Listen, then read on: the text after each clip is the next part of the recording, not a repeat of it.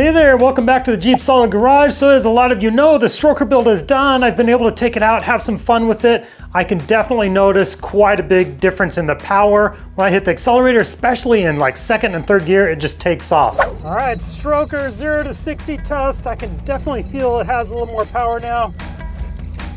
Let's go.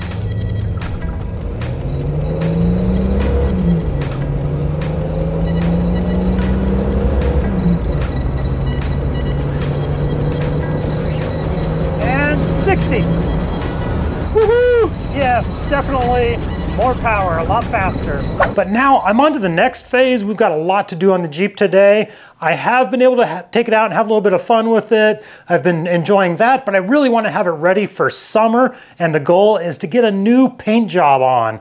There's a lot to do. And if we look around at the paint a little bit, you know, the hood here, I mean, the clear coat is just peeling off terribly. The rest of the paint is not really in that bad a shape, except I just have clear coat failure going on in quite a few different places. Once it starts, the whole thing just starts to go. A little bit of body work to do here.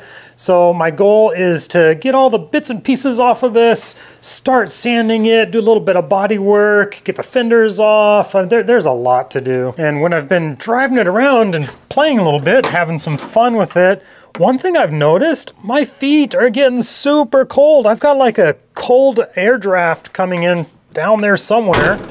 And I did have the steering column out of this a while ago. And I don't know if like the gasket back there, it's kind of hiding back in there in the deep abyss. If I didn't get a good seal there, if there's some other hole or something blowing cold air in. The stroker build, gosh, what a fun build that was. So excited about that. Uh, still have a little more work to do. Got to put a new clutch in. I'm going to put new uh, hoses. I want to get a new radio. There's a lot of new stuff I still want to do to this. This is going to be an ongoing project. But today's goal is start stripping it down. And during this intro, one thing I noticed is the beard. I got a couple of comments actually. And I thought, hey, it's, you know, new year. Let's try something different. So what do you think? Keep the beard, leave it? I don't know. Leave a comment down below, let me know what you think. And the other thing that I've done is I've driven it enough miles, enough hours on the uh, engine break-in to be able to do the first oil change. So I went ahead and did that. So then uh, filled it back up with some another round of uh, high zinc, no detergent oil to finish off the break-in. But after that initial four hours, what, 200 miles, I think it said, 200 miles or four hours, you want to uh, change the oil. So got that done.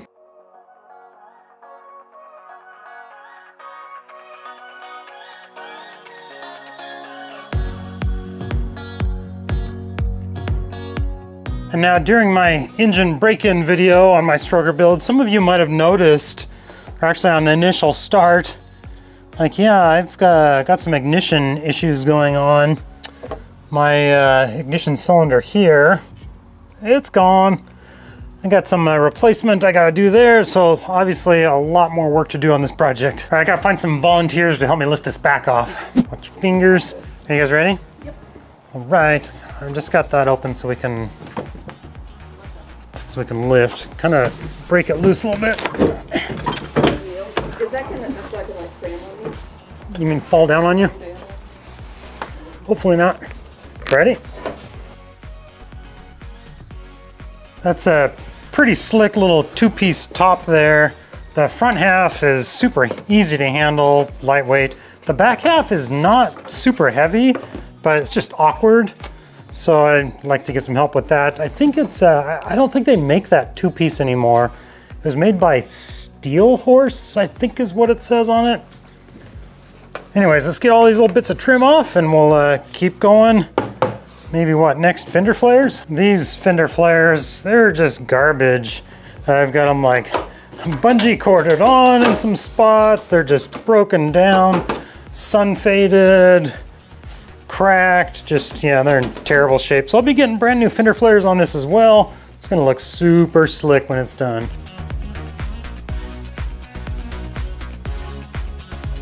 That side was pretty quick and easy. I noticed on the back end here, this back fender, I have to straighten that out a little bit. And fender flare will hide that quite a bit because the fender flare should be out here. But yeah, it's uh, definitely not straight there. Okay, so I wanna, I wanna replace the gasket here. Obviously take the windshield wipers off, but this gasket around the window, I don't need to replace the windshield. So I'm gonna leave this gasket in place, but this one is brittle and dry. I'm gonna replace that. So I'll fold the window down, take off the uh, windshield wipers, take this gasket off, leave this gasket there. I think I'll leave the windshield frame on. Last Jeep I painted, I took it off and that worked out pretty well, but I don't know. It's a work in progress, but uh, let's start by taking the windshield wipers off and actually get this antenna out of the way real quick.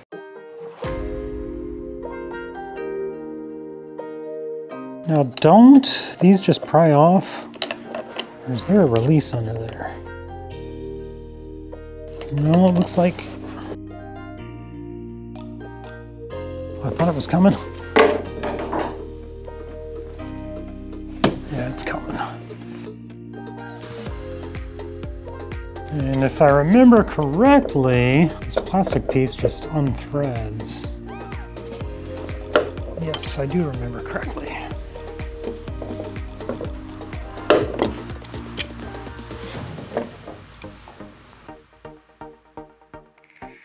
Well, just when everything was going nice and smooth, I got a couple of the bolts out on the bracket there to uh, fold the windshield down here. And then I move up here and I start working on these guys up there.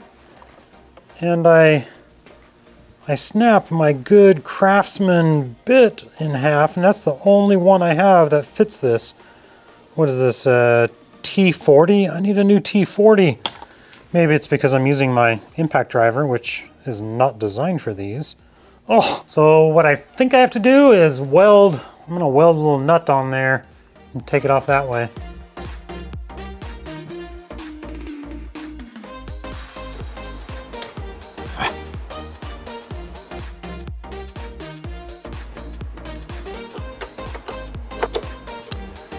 Not the prettiest weld, but honestly, it's working.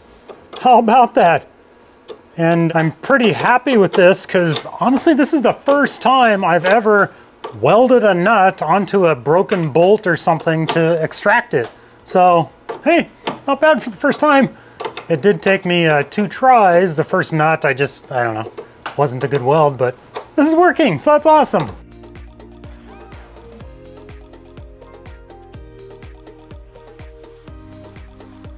Definitely got to order a new gasket here.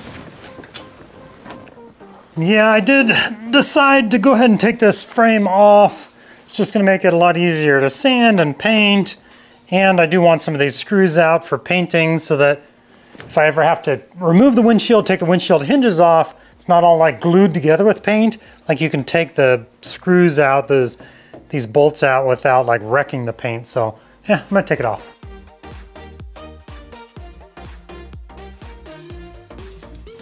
Down. There we go, we can just lift it off. All right, not bad, we're making good progress here. Getting these hinges off, whew, it's the hardest part. So how does this go on? This is the driver's side. But these bolts, there's these 13 millimeter nuts on the inside and they just spin. You gotta get your hand way up under there, underneath the dash. It's super hard to get a wrench on it. It was a pain, but I finally got it. Yeah. All right, next let's move on to removing the hood. Gotta take the hinges all off. It just makes everything a lot easier to paint so you can get in all the nooks and crannies. Hopefully this comes off smoothly. Oh, piece of cake.